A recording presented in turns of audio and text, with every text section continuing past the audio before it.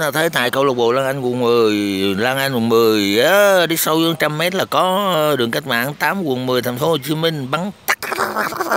cu cu cu cu là thu thu giữ thu giữ thu giữ chương trình mùa xuân năm 75 75 giờ đang có tại câu lạc bộ Lan Anh quận 10